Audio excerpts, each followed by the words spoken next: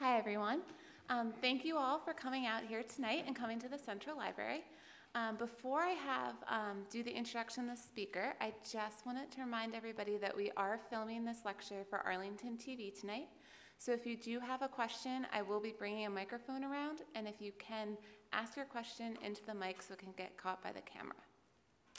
Um, but now I'll introduce our speaker. Eric Buckland is the author of five books, all of which tell the stories of men who rode with Mosby's Rangers and include Mosby's Keydets Rangers, as well as a four book series called Mosby Men.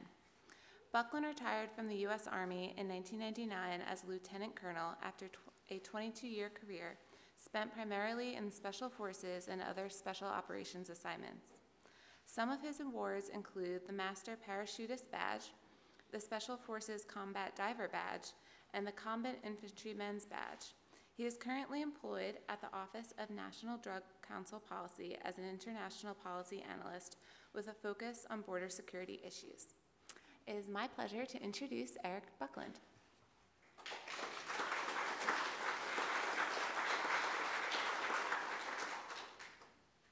Thank you very much, and thank you for having uh, me this, here this evening. Uh, remember, this is being filmed, so if you throw anything at me, it's going to be on, on, on, on camera. For the last several years, I've been studying uh, the men who rode with Mosby's Rangers. That, of course, has allowed me to learn a lot about the, their operations, but my real passion has been the life, uh, the lives of, of those men who rode with Mosby during the war uh, and after so what I would like to do after a little bit of in introduction uh, to the Rangers, who they were and what they were, uh, will be to share, you, share with you some stories about some of those Rangers. Now, they were an excep exceptional group of young men, uh, many of whom went on to become doctors and lawyers, a good number of ministers, three or four millionaires at least. Uh, but I, am not going to tell simply success stories tonight. I, I, will share with you some stories about some of the more colorful Rangers as well. Do you see the, the quote at the bottom of this slide? As glides and sees the shark, rides Mosby through green dark. Does anyone know where that is from? It's from an epic, literally epic poem called The Scout Toward Aldie. It was written by Herman Melville, the author of Moby Dick. Uh, during the Civil War, he had decided he was going to be the poet laureate of the war. That didn't take, so he went ahead and wrote some book about a whale. Uh, but, but the, and you can find this poem, this, The Scout Toward Aldie, uh, online. It is long but it is basically based on an actual event where Union Patrol went into Mosby's Confederacy. And it's, he paints this wonderful picture of the, uh, the fear inspired by Mosby's men. They're, this aura sort of swirling around the Union cavalry as they continue to head west into Mosby's Confederacy. And you get a real feel, feel for the, the, fear that Mosby's men put in the Union cavalry when they did venture into their home turf. The Mosby's, uh, Mosby's Rangers were the brainchild of John Singleton Mosby. He came up with the concept of how they uh, were to be used. Uh, he came up with the operations, uh, how the unit would function, and he led, commanded that unit from start to finish, January of 1863 until he disbanded the unit on April 21st, 1865. You can see here at the bottom of the slide the general purpose of what he was trying to do. It was never the Rangers' mission to take on an enemy unit face to face, as you see in major, the major cavalry battles such as Brandy Station, or to take on massive numbers of infantry. The Rangers generally uh, operated in smaller groups, 40, 50 uh, men, uh, and they used surprise, violence of action, and superior firepower to conduct their operations. From start to finish, Mosby's plan was simply to annoy the Union Army, cut their lines of communication, and disrupt as many of their activities as possible, all with the thought of drawing forces away from the main battle area, wherever Robert E. Lee's army was, drawing Union forces away from the fight with Lee to even those odds a little bit more and just to cause trouble for the Union Army up closer to Washington City. And Mosby and the Rangers were very successful in that. Now, you see a photo or a, a drawing here with Mosby walking with another man. Uh, the, the taller man with the red cape, of course, is Jeb Stuart. Jeb Stuart was John Mosby's mentor. He's the one who gave him an opportunity to begin his career as a partisan ranger uh, and then supported him throughout that career of course, until, of course, he was mortally wounded at Yellow Tavern.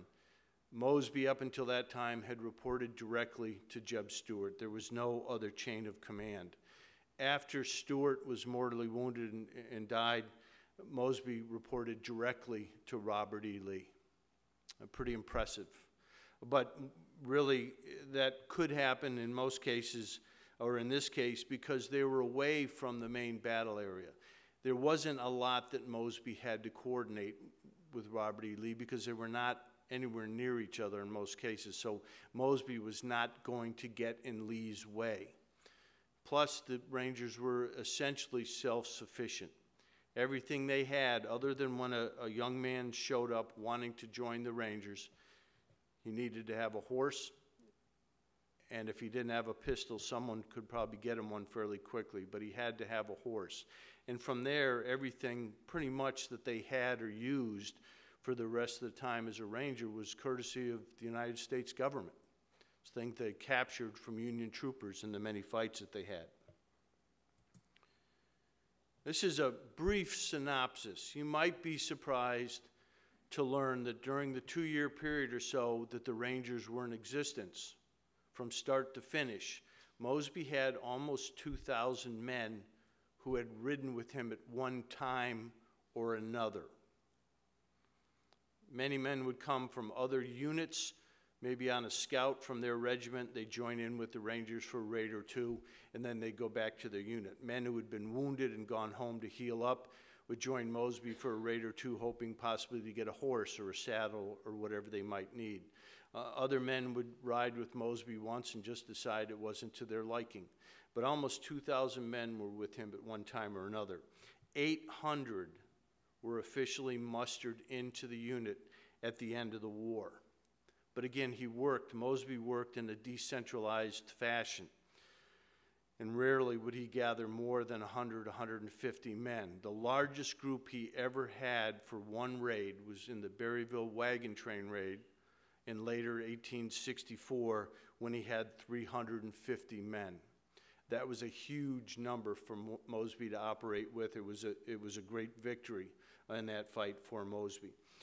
The numbers below 100, 456 captured, 112 killed in action, mortally wounded action, died in prison or, or executed, and 103 being wounded are low. But that's the best I could come up with through the records, records I was able to, to find. Being wounded uh, as a ranger was just part of doing business. And there are stories where in the middle of a fight, a ranger will get his finger shot off and it's ow, that hurts, and he continues on with the fight. It, it didn't stop the action. 456 men uh, captured. Uh, initially, they would be exchanged or paroled.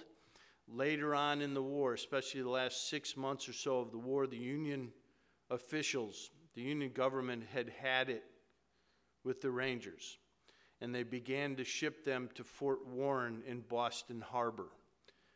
And they would ship them there in shackles under heavy guard, very, very heavy guard. And, and the instructions were that the men were not to be released or exchanged or paroled for any reason, for they were dangerous and desperate men. And almost 200 men were held at Fort Warren at the end of the war and would actually not be paroled until the middle of June uh, almost two months after, or a little over two months after Robert E. Lee had surrendered at Appomattox. Again, uh, being wounded uh, was just part of being a ranger.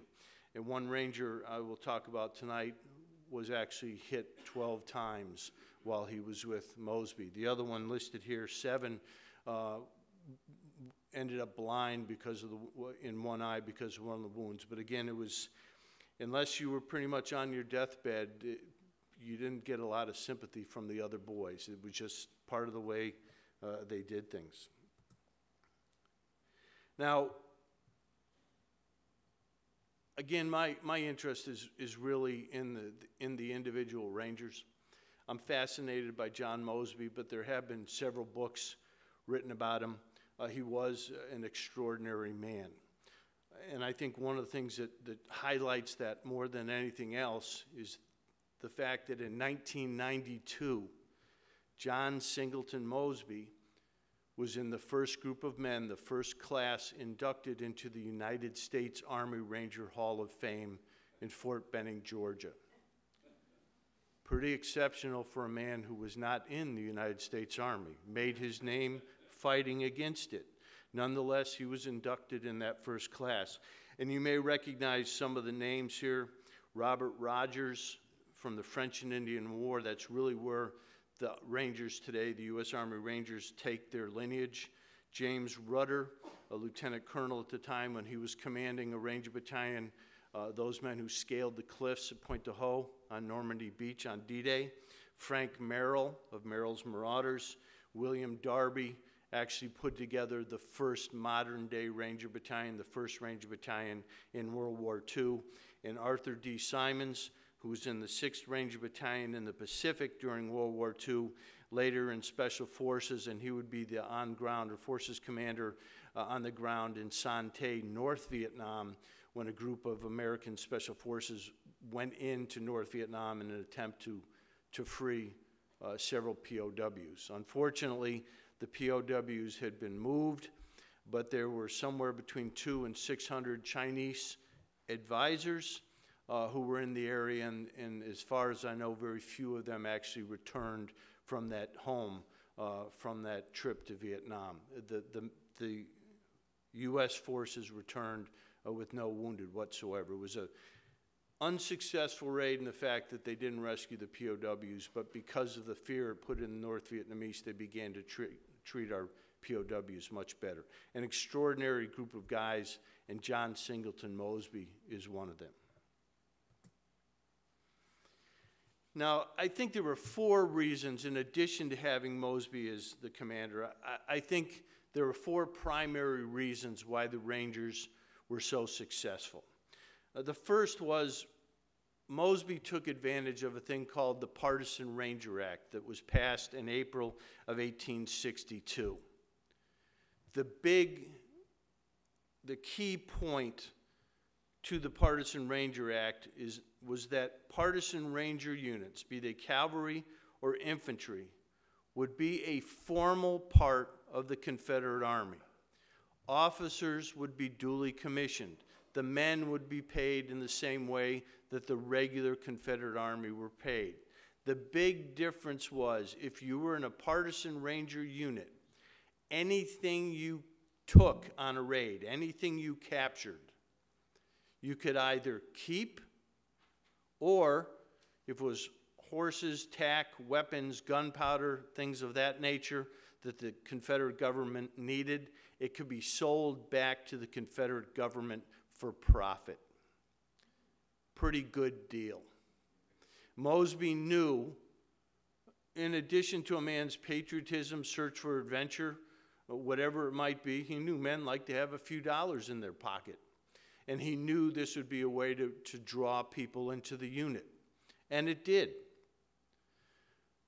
And he knew they would want to stay in the unit once they got in and got a taste of that loot. So, as, as, as it was a draw into the unit, it was also a hammer that Mosby could very quietly hold over their heads because if they got out of line in their behavior, they showed cowardice in the field. They, they did not conduct themselves in, as gentlemen when they were in and about the citizens uh, where they were staying. He would simply throw them out of the unit.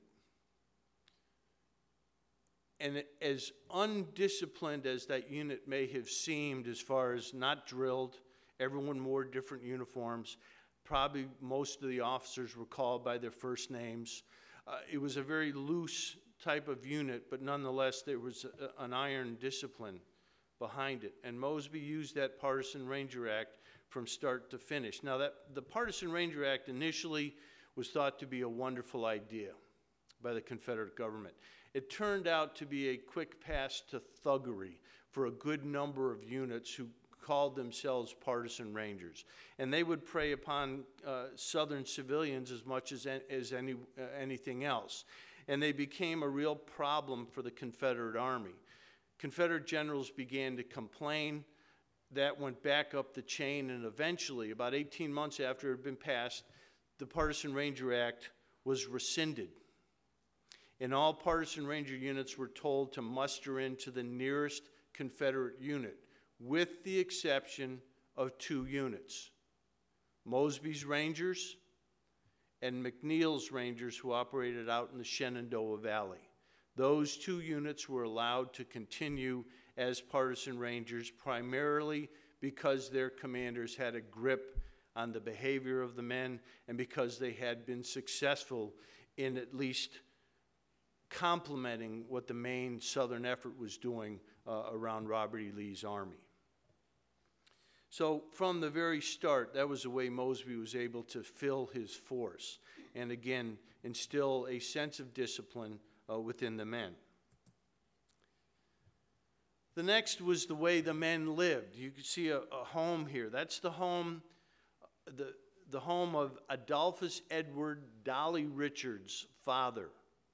Dolly Richards would become a major under Mosby, third in command. This was his father's home, and this was his, Dolly's, safe house. The Rangers did not have camps. They stayed in private homes from the very beginning, January 1863 until the very end. The Rangers stayed in private homes, two or three or four Rangers to a home. Some of the men stayed with mom and dad. Some were staying with their aunt and uncle. Others were staying with a, a, a ranger comrade's family because that was his good buddy. Some of the men paid room and board. Some of the men would help around the farm when they could. Uh, others stayed there because the, the southern people with whom they were staying were patriots and wanted to help the effort.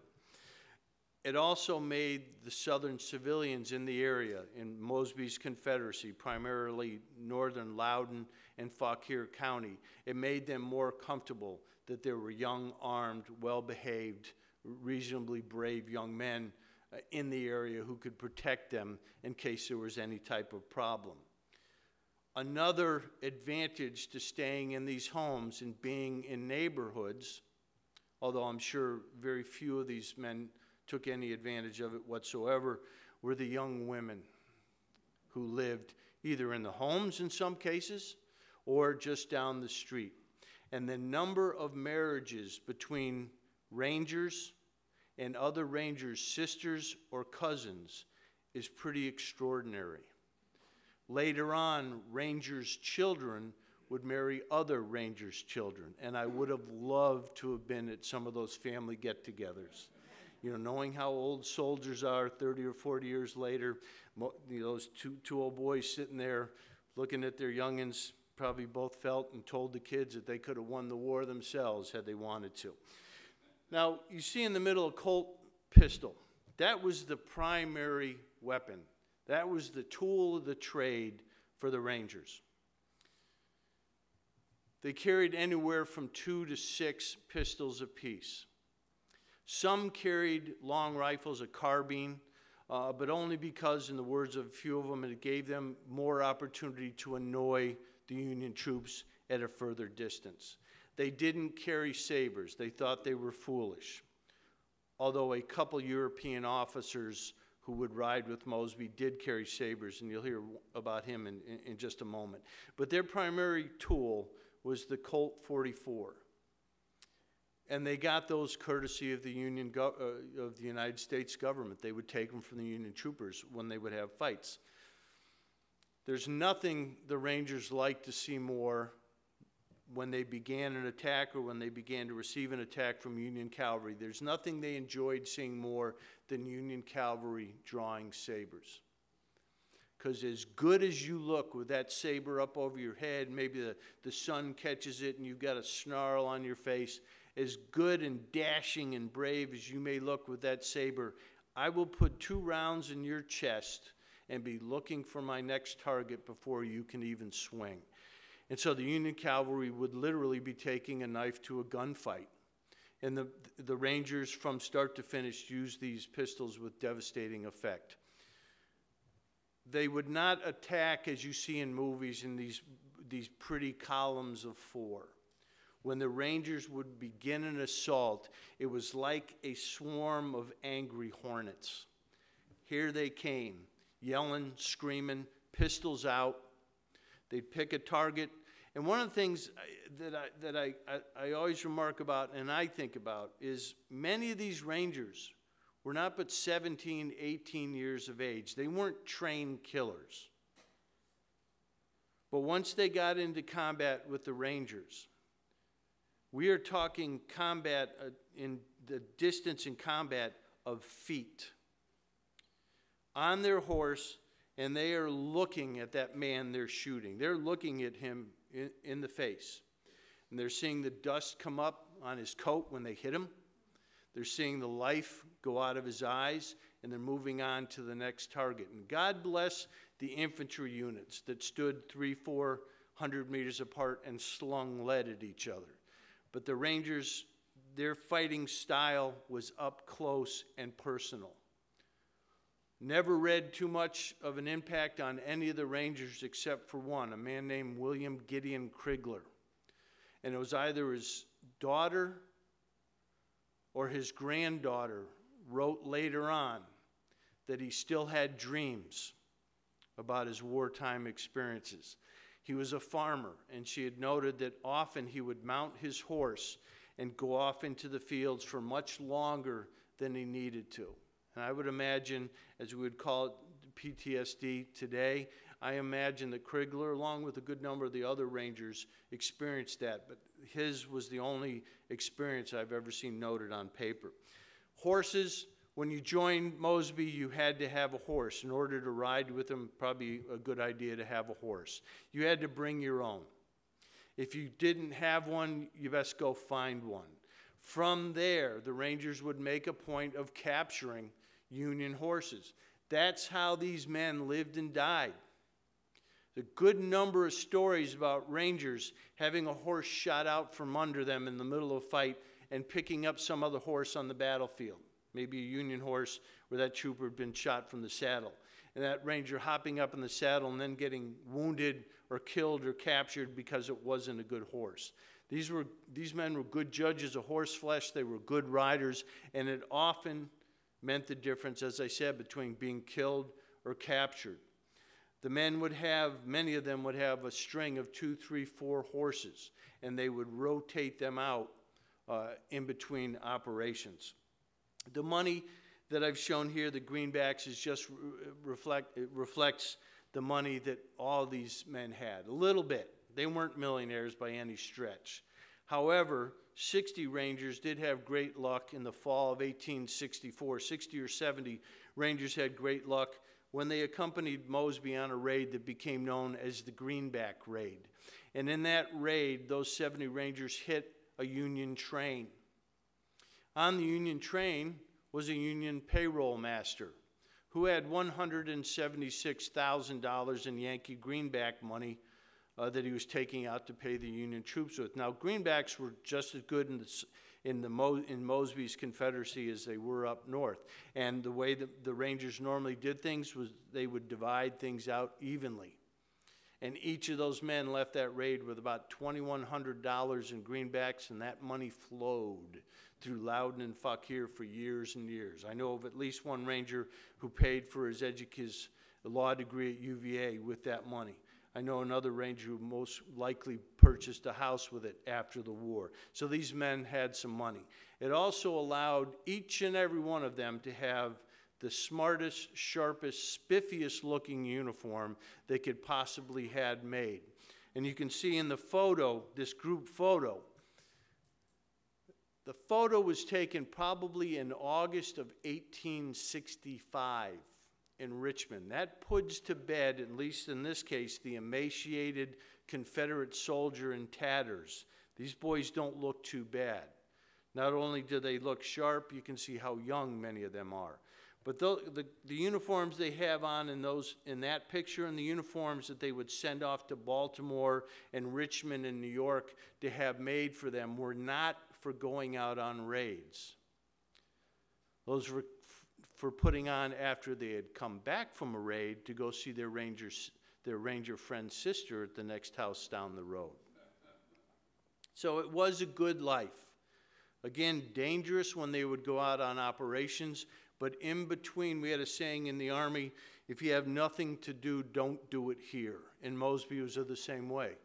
If you're not on op- out on an operation, go back to your safe house. You, they, the men would either be told where the next operation would be, how many days, and where they were to meet. Or if they were at the house and they heard gunfire, they would literally ride to the sound of the guns. Or because the Rangers knew where everyone lived, at least within a few miles of where they stayed, if they saw a Union patrol, sort of like a jungle telegraph, the Rangers would ride from house to house to house to pick up men uh, to bring them back to wherever that Union patrol is. And there's a good number of Mosby Ranger fights that start with three or four Rangers bumping into a Union patrol. Half an hour later, there's 20 Rangers. 10 minutes later, there's 30 Rangers. A few minutes later, there's 50 Rangers. And the Union Cavalry started to learn when it starts, it's not going to stop. And they frequently would push only so far not have a lot of problems, think, okay, we're okay, and they turn around and go back from whence they came. Uh, but that all stemmed from the safe house concept uh, and the men looking for, for action wherever they could find it. Another key, I believe, to Mosby's success was the fact that he had tremendous subordinate leaders. As you may know, in 1862, the Confederate Army, the soldiers in the Army, were given the privilege of voting for their unit leadership. The Confederate government thought that would keep these men in the Army. They were trying to find ways to have them re enlist and continue on in the fight. Many of the men elected were elected because they were popular or because the men knew, well, if, if Bob is the company commander or the battalion commander or the regimental commander, we, we, we won't have to do anything. Now that worked until they went into combat the first time, and then they realized this, this isn't a good idea. But it, it, it continued on to a certain degree. Mosby started the war as a private in the Washington Mounted Rifles. That was a cavalry company from southwest Virginia, which was rolled into what would become the first Virginia Cavalry, commanded initially by Jeb Stuart. Stuart would be promoted to brigadier general, and Mosby's mentor, another mentor that he had initially as a private soldier named William Grumble Jones, who had taken him under his wing, Grumble Jones was the regimental commander. And then these elections, this, this opportunity to have elections came about, and Grumble Jones lost to a man named Fitzhugh Lee, who would go on to become a Confederate general. But Mosby and Lee hated each other. And when Lee became the commander, Mosby, at that time now a lieutenant, had been, the, had been made the adjutant by Grumble Jones, a staff position in the regiment. Mosby knew that Lee was not going to keep him on because Lee didn't like him. Mosby also knew he didn't like Lee and he didn't want to work for him, so he resigned his commission. So these elections left a very bad taste in Mosby's mouth. And when he began to have enough men to form a unit, you see, in January 1863, Mosby started with nine men. After about two weeks, they were on loan from Jeb Stuart, and he brought those nine men back to around Fredericksburg in the middle of January showing some success. Stuart said, Well done. You can take 15 back with you. And from there, things continued to grow. And come late May, Mosby now was up 50, 60, 70 men. And word came you have enough men, you can become a formal unit now. And you'll be designated the 43rd Battalion, Virginia Cavalry. Jeb Stuart, his mentor, told him when you form this unit, just like the regular Confederate units, you will have elections. Mosby said, Yes, sir. So on the 10th of June, 1863, he brought the four men pictured here to what was then called Rector's Crossroads. It's now called Atoka. It's right off of Route 50 between Middleburg and Upperville today. He took these four men, brought them into the Caleb Rector house, and said, I'm making the four of you the officers of A Company 43rd Battalion, Virginia Cavalry. These would be Mosby's first subordinate officers. Well, what about the elections? Mosby said, Go ahead and sign your commission papers. You are the officers captain, first lieutenant, second lieutenant, third lieutenant. He then took those four men about a quarter mile down the road to where the troopers, the rangers, had gathered, knowing that something was in the wind. He called them together and said, we are forming Company A, 43rd Battalion, Virginia Cavalry. I now open the floor to nominations for officers, and he read his list of these four men and closed nominations and asked for a vote. A few of the men actually pushed back. They thought there were some other men who were better qualified. Mosby said, You're welcome to your opinion. You can have it outside of this unit. And from then on until the last company was formed in early April 1865, Company H, every slate of officers was handpicked by Mosby. Men who were brave, intelligent, who understood how he, Mosby, wanted to operate, and who were respected by the men. Those are the men he picked. He had some very, very close friends in that unit. He did not play favorites. He picked based, people based on merit and merit alone. Some of his friends would make some rank. Uh, there's a case of uh, two different sets of brothers, the Richards brothers that I talked about. Dolly Richards would become a major.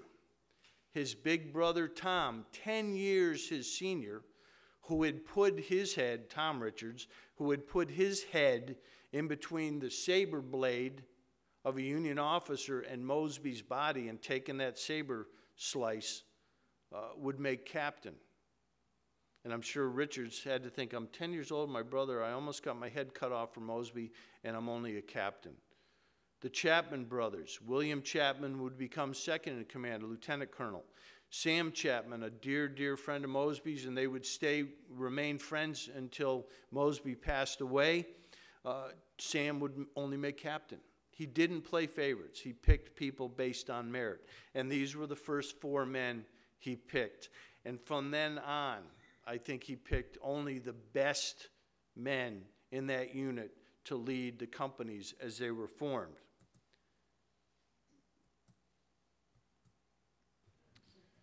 The next slide would show these same four men.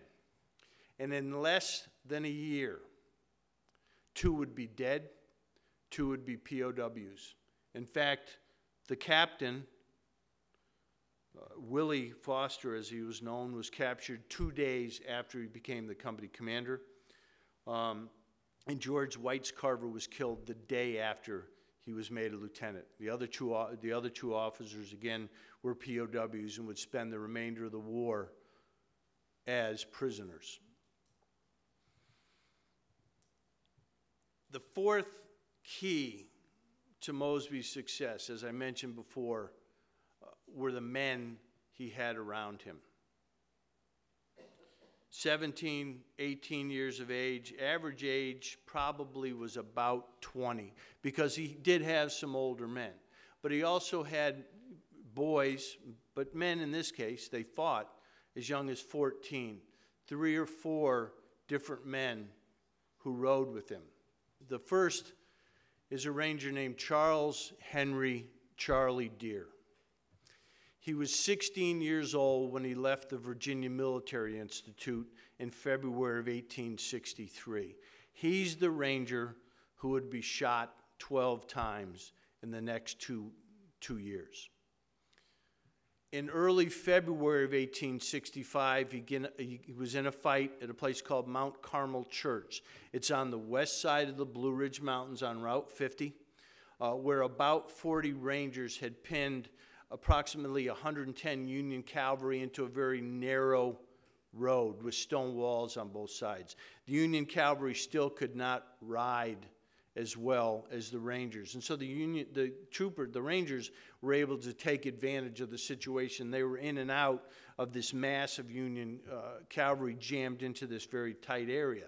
And Charlie, as the, as the Rangers would do, was in amongst the Union cavalry with his pistol, going to work. Now, the Union cavalry were carrying carbines, Spencer repeating rifles, but things were so tight that they couldn't come up with their weapons to engage. Things were that tight they couldn't come up to shoot, but they could swing the weapons just like a baseball bat. And they beat Charlie from the top of his head to the bottom of his feet. Many of the Rangers remarked on how banged up he was after that fight. He shook it off. April 10th, the day after, the, after Robert E. Lee had surrendered at Appomattox, two companies of the Rangers are at a place called Arundel's Tavern. It's over near Burke Lake today, if you're familiar with that area. In that fight, they came up against the 8th Illinois Cavalry, and the 8th Illinois ran them off the field, beat them very badly. And as the Rangers were trying to get away, Charlie's horse, Old Thunder, went down and rolled over on top of him. He lived to be 82 years old. After the war, he would go home uh, to Rappahannock County, to Washington, uh, in Rappahannock County, where he would own a boarding house and a tavern. And one of the great stories about Charlie a little later in life, and he would, he would eventually marry and have one son uh, when he was about 40. But one of the stories I love about Charlie was on Sunday nights in the boarding house, he would have the guests down for dinner, and they would sit family style at the table. And Charlie would sit at the head of the table as a father might do. And he would pass the plates out empty, whatever the meat was uh, ham or uh, whatever beef, whatever it might be that night. Normally, normally the meat would be cut, put on, or sliced, and put on the, the plate and passed down. But Charlie liked to pass the plates down empty because he liked to carve the meat and stab it with his knife and fling it down the length of the, of the table. And they said that he never missed. Uh, apparently, one night, one of the guests, not knowing who Charlie was, made a comment about Mosby's Rangers being nothing more than cutthroats. Charlie picked up that knife, which he was very, with which he was very, very adept, went up to the guest and leaned that knife up against his throat and suggested that he might want to take that comment back. And he did. now, he is buried in the Masonic Cemetery in Washington, Virginia. And his marker is wonderful. One side talks about being in the 43rd, uh, the other half of the marker is his wife, Ada McGeorge, or Ada McGeorge uh, Dear. And on the back, the whole back is dedicated to Charlie and his exploits. He was in pretty much every well known fight the Rangers had. But if you speak to the Rappahannock Historical Society, uh, not they, I don't believe they'll put this on paper, but they were pretty adamant when I spoke with them. Uh, as wonderful as this marker is, they will tell you that my man Charlie Dear is not buried next to his wife. He apparently was a philanderer and a gambler up until his dying day. And she simply said, No, not next to me, not for the rest of, not for the rest of eternity. And one of the things I think that, that uh, kind of proves that to uh, even a, or shows that to be true to a little more extent is the fact we visited, uh, myself and a couple friends have visited the home that he and Ada lived in. Uh, and the woman who owns the home now has all the paperwork. She's done tremendous re- research on the house. And she brought all the paperwork out uh, that the family had had. And the house was in Ada's name, which was pretty unheard of back in the day. And I think it was so Charlie wouldn't gamble the house away. God, I love him. Now, one of Charlie's best friends was a man named Joe Bryan.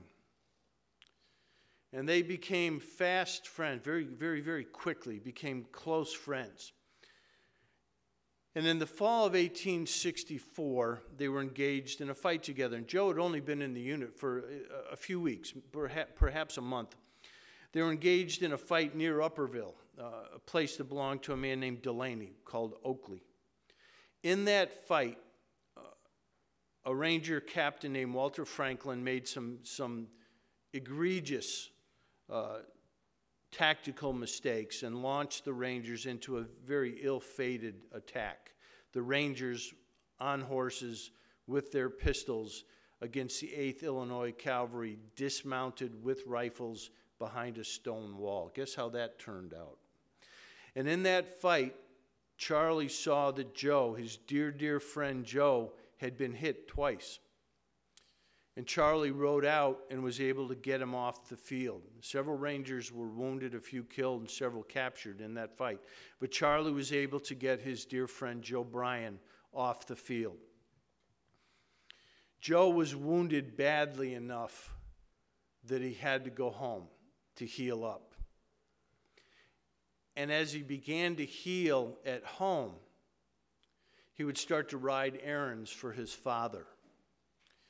And one day he was out uh, on his horse and it began to pour. And he didn't have any kind of rain gear with him. But he saw a farmhouse off in the distance and he rode up and knocked on the door. The farmer came to the door and Joe introduced himself and said, Do you have any kind of rain gear? A poncho, a slicker, a raincoat that I might borrow, buy, uh, that you could lend to me? And the farmer thought for a minute. Yes, I, have got something out in one of the outbuildings. And he went, the farmer went out to this building and retrieved this raincoat that was in pretty bad shape. And Joe saw it, held it up in front of himself, and he could see that it had been cut and then sewn. And for some reason, eh, the hair on the back of his neck stood up. Eh, he wasn't sure why. And so he lifted the collar of this rain jacket. It written in the back was T.J. Jackson, Thomas Jonathan Jackson, Stonewall Jackson. It was the coat Jackson had been wearing when he was wounded at Chancellorsville. Had been cut off him and left. Joe bought the coat from the farmer for uh, a fairly hefty price, so much for supporting the troops and sent it home. And the coat eventually made its way back to Mrs. Jackson. Does anyone know where it is today? It's on display at the Virginia Military Institute. And I've always thought that was a, a wonderful kind of circle of life, if you will, because Joe's closest friend during the war had been a, a cadet or a cadet at Virginia Military Institute, Charlie Dear. I think we could all agree that Charlie Dear was somewhat rough around the edges. Joe Bryan would go on to become the owner and the editor of the Richmond Times Dispatch. He would become, I, I think, a millionaire, uh, quite a businessman in Richmond, very, very well respected, traveled in the highest circles. I don't believe Charlie Dear would have ever been welcomed into the highest circles, but Joe Bryan within Richmond was. There's a park a name for him in Richmond, uh, land that his wife uh, gave after he had passed. And Joe died fairly young, about 20 years or so prior to Charlie passing. And Charlie, the rough, tough, shot 12 times, let, us go drink and, and shoot our guns up in the air when we're 78 years old type of guy, wrote this wonderful letter to Joe Bryan's son, and it's moving. If this is not a politically incorrect thing to do, it was almost the emotion that a woman would show. That's how soft and gentle and caring this letter was from one of the toughest rangers I'm aware of. But he expressed to, to Joe Bryan's son how much he had thought of his father. There was another ranger named James Sinkler. The men called him Sink. He was a little bit older, probably pushing 30, than some of the other rangers. And he had two wonderful eccentricities that I love to share. The first is when he would be out on operations, he liked to sleep in cemeteries. Okay, well, at first you think, you know, I, I wouldn't do that, but then wait. You're out on an operation, you pull into a cemetery. What do cemeteries usually have around them? A fence or a wall. So you can ride into the cemetery, and nobody in their right mind is going to come in and bother you at 3 o'clock in the morning in a cemetery, especially on a dark, rainy night. So you're somewhat safe, and you can unsaddle your horse and let it roam free because it's within an enclosed area. So Sink would sleep in cemeteries whenever he could. And there's a wonderful story that he shared with, with some of the other rangers, and I'm sure he heard no end to this, was one night in a cemetery, he was awakened for some reason, and he looked out at the fence around the cemetery, and he saw this, this orb over the fence, and it spooked him. And he yelled, and it didn't go away. He yelled again, it didn't go away. So he drew his pistol. He fired, it didn't go away. He took even better aim this time. He fired, and it disappeared. He went back to sleep. The next morning, sun comes up. He's awake. Starts to look for his horse. He can't find his horse.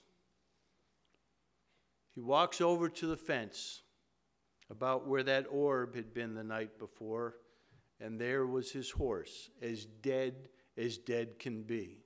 See, it had a white forehead, and Sink had shot that horse right between the eyes and killed it right where it stood. Now, the second amusing and, and fun, and I, I know most of the women will be able to identify with this. Um, Sink, when he drank, which he liked to do often and heavily, liked to bite the head off, off of snakes. Now, whether or not he ate the snakes, I don't know. I haven't been able to get that far. But he carried a sack of snakes around with him, tied off on, the, the, on his saddle. And the men knew that he did that, and when they would catch snakes, live snakes, they'd give him to Sink, so he'd have something to chew on when he was, you know, I guess it, it's, we have our chips and, and, jerky today. He had live snakes back at the time. And that, so I, that to me just makes Sink one of the more one of the more colorful characters uh, who rode with Mosby. The last story I, would like to share with you, and then we can do some questions. Um, there was a Prussian officer named Baron Robert von Massow who rode with Mosby. Now, he knew, was familiar with Heros von Borcke, who was a, a Prussian officer who rode with Stuart. Robert von Massow came over, took a, a, furlough from the Prussian army, took leave, came over for an adventure to have some fun. He came over in late 1863 and was eventually sent and made his way down to Mosby's command. In the first fight he was in, he wasn't wounded and he was livid. You see, he wanted a scar. He wanted to go back with a momentum, a memento from his trip uh, to the American War. Well, the next fight he was in, uh, that was taken care of him, uh, care, uh, that was taken care of for him uh, to the extreme. I mentioned before the Rangers didn't carry sabers. The European men who rode with Mosby did. Von Massow, being Prussian, swore by his saber. And so he carried it uh, in the fights he went into. Before one fight, another ranger named Ben Palmer had actually turned to the Baron and said, A saber, I, I, do, do you want to die? And von Massow's response was, Palmer, a good soldier is always ready to die. And so in this fight, along today's Route 7, around Dranesville, a place called Anker's Shop, the Rangers took on elements of the 2nd Massachusetts. They ambushed them initially and then swept down uh, on the second mass from a couple of different directions. Initially, the fighting was fierce, and the second Massachusetts was a good unit and got better and better as the war progressed. And they initially were giving as good as they got. And in the middle of this melee on, the, on, on today's Route 7, John Sewall Reed, captain one each of the 2nd Massachusetts, sees this fairly large man with a, a large saber. Uh, von Massow, as, as was von Borcke, had a much larger saber than most of the normal uh, cavalrymen carried. And Reed, the Union officer, sees this man riding down on him with a saber, and he's relatively sure that within a few seconds his head is going to be cleanly removed from his shoulders, and he throws his hands up in surrender. Now, back in the day, when that would happen, you would be waved to the rear. You're a prisoner, go wait, we'll pick you up later. And that's what von Massow, riding with Mosby's Rangers, did to Reed, commanding the element of the 2nd Massachusetts. He waved him to the rear. And as von Massow rode by him, seeking to quench the thirst of his sword's blood, Reed shot, shot him in the back. Put a round through his back, through his lung, and it was a, it was a serious wound. And von Massow, von Massow falls from his horse. He doesn't die. He's picked up by rain, the Rangers, brought uh, to a, a home that the Rangers know are safe, but he cannot return. It took that long for him to recover from his wounds, and he eventually would go home uh, much later in 1864 to Prussia. And that's really the last any of the Rangers heard from him until about 1901 when newspaper stories literally this is this is not an exaggeration from the east coast to the west coast all within a few weeks time this story built that von Massow was dead and he had bequeathed his millions to his ranger comrades. There were a whole lot of people suddenly who'd been with Mosby's Rangers. Mosby himself said at one time, if I had had these many men, I could have beaten Grant by myself literally from New York to Los Angeles, stories began to appear that Ranger so and so, having been a ranger some 40 years prior, was going to be rich beyond his wildest dreams. These men hired lawyers to help get their money. Uh, they were set. Dreams. They all had dreams. And the story continued to build and went on like that for almost a year. Mosby began to wonder exactly what the situation was, and he was actually able to make contact with the dead Baron Robert von Massow because he wasn't dead. and in the letters exchanged between them, von Massow told Mosby, It's a wonderful story, it's a wonderful idea, but Number one, as you can tell from my letter, I'm, I'm not dead. Number two, I don't have that kind of money. And number three, if I did, I'd give it, I'd leave it to my family. No one knows today, and no one knew then, where that story came from. But uh, you talk about viral things on YouTube today. This took off, this had legs for almost a year. The reality is, this happened in 1901 into 1902. The reality is that Baron Robert von Massow was still on active duty and would be on active duty until 1916 when he was commanding all German cavalry. And he would not die until 1921 or so. But again, that story, 20 years after he had passed the first time, he actually did pass. I- do have, I, as I, as I stated, my, my research, my passion has been the men who rode with Mosby. And I found their stories, not just during the war, but after the war, to be very, very compelling. Uh, doctors, lawyers, a, a, a, an extraordinarily high number of ministers, three or four um, millionaires. The first book I did is called Mosby's Keydet Rangers, and it's about the 58 men who both attended Virginia Military Institute, a few before the war, a few after the war, most having been at VMI during the war and leaving it uh, to join Mosby. Those 58 men who both went to VMI and rode with Mosby. 21 of those men fought in the Battle of Newmarket with the Corps of Cadets before they left to join Mosby.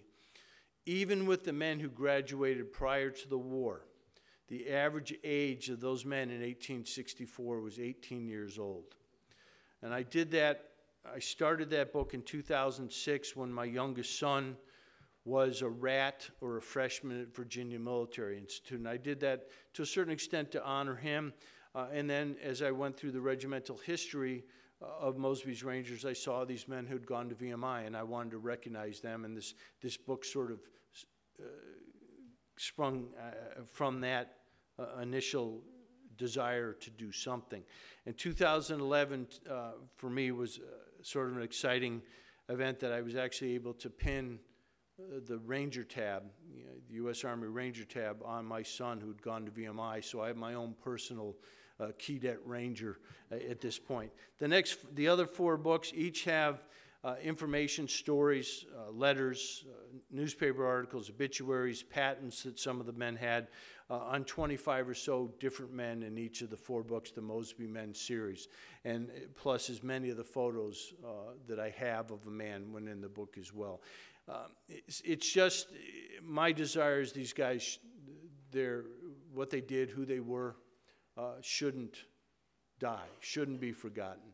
I've had special forces uh, officers and senior NCOs up into Loudoun and Fauquier. I've given them tours uh, about Mosby's operations, and as I would begin to talk about how they did things 150 years ago, it's straight up irregular war, guerrilla, unconventional warfare doctrine today that they were doing 150 years ago. So it's something we can continue to learn uh, from as military people, and then as as people within just a community or society, seeing how well the majority of these men integrated back into society after the war was over. Are there any questions? Yes, up near our, just outside of Rectortown, now where the highway crosses the Norfolk Southern tracks, there's a historic marker uh, that mentions about how the Unions had captured and executed some Confederate prisoners, and in turn, Mosby's Rangers captured um, several Union uh, prisoners, and but they didn't execute all of them, and there was a drummer boy involved and uh, something. Do you There, there, you're probably talking about what happened at Front, Front Royal in Okay, well, September maybe where it happened, 1864. Uh, The war started to become a, a little bit ugly. Obviously, was ugly up that time, but, but they got a, they got a little nastier. September 23rd, 1864, a small element of Rangers, about 150, hit a wagon train, or what they thought was a wagon train, except around the, the, the little mountain that the road was skirting uh, was a brigade of Union cavalry. So suddenly, a, a great victory over this wagon train turned into a decided rout. Six Rangers were captured uh, and summarily executed. Four would be shot, two were, two were hung. Um, spread from, and the actual, the execution started from the southern part of Front Royal all the way to the northern end. Uh, i- It's, Mosby until his dying day blamed George Armstrong Custer for giving the, uh, the order, and without getting into a whole lot, he, he didn't. I I really think what happened is uh, the Union troopers saw a chance for revenge, and the, the chain of command really did nothing to stop it. Um, about three weeks later, a seventh ranger named Al- Albert Gallatin Willis was executed as well. Uh, Mosby was wounded during this time, so he wasn't there. When he came, he wasn't there at Front Royal, and he may have, I, I don't, I'm not sure if he had come back by the time Willis had been executed. Um, and the men were, the Rangers wanted blood. And so, about a month after Willis's execution, perhaps six weeks, there was a Ranger assembly in the town of Rectortown. Mosby had cap- captured tens, dozens of Union soldiers up to that time, but of all those men he had captured, 29 men had been set aside. They were all affiliated with Michigan units because Mosby had that connection with Custer in Michigan, believing Custer had, had uh, ordered the executions. And they had a lottery of the 29 men. Seven lucky winners were to be executed in retaliation for the seven Rangers who'd been executed. When all was said and done, uh, and, and there's some wonderful stories tied up with that, when all was said and done, three of the Union troopers were hanged, two were shot but did not die, and two escaped. Um, but immediately after that, Mosby sent a letter to Sheridan, said, I've been capturing your men and treating them uh, well until you killed my people uh, in Front Royal. I've done this in retaliation, and essentially, what do you want to do? And it stopped pretty much from there. So it, it did happen.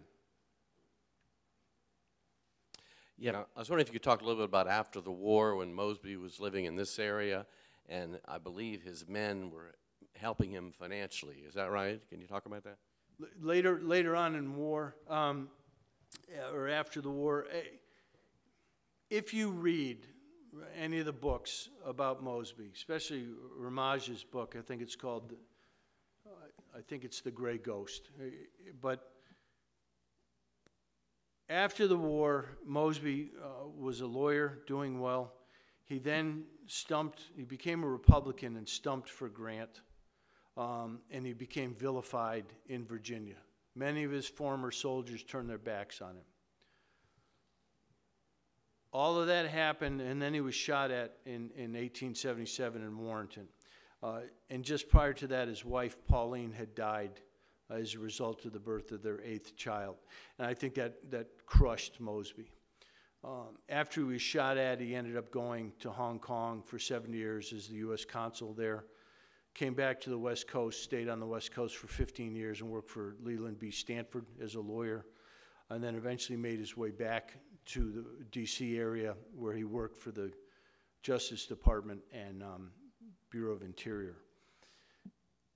And he didn't have a lot of money, and you're right, as, as, as life progressed. And men like Joe Bryan and others uh, kept him afloat. He was literally, in the last few years of his, his life, penniless. And he was uh, the, the, the quintessential crotchety old man. Um, and younger people would come in his office in the Justice Department and, and ask him a question or say something to him, and, and most would just turn away and turn around and walk away. I mean, he was, I, I, I think that obviously the highlight of his life uh, was the war. You know, that, that was the pinnacle of his success. And, and you're right, he was, he was uh, virtually penniless. I, I know there's stories about Mosby's treasure, et cetera, et cetera. If there was one, he never found it because he didn't have any money. And, and you, but you are right, some of those men, even though some of his men turned their back, the guys like Joe Bryan and a few others who, who were well-to-do did help him out. Uh, I don't know that he ever asked for it, but they could see his plight and would help him out where they could.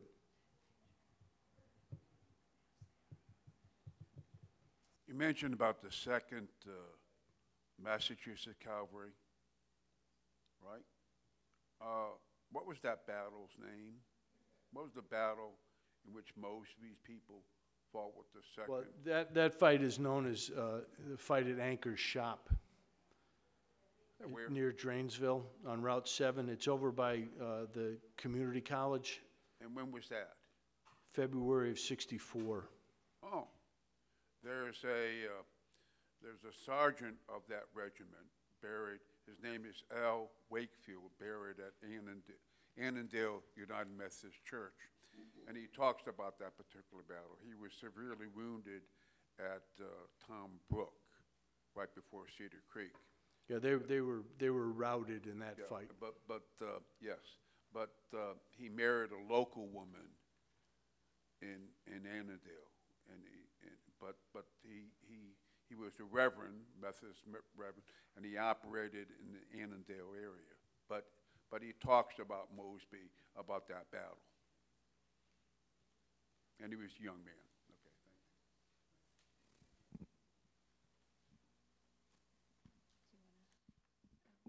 thank you. Thank you very much. We are sure that, I know that I really enjoyed your talk, and I think everybody else did too.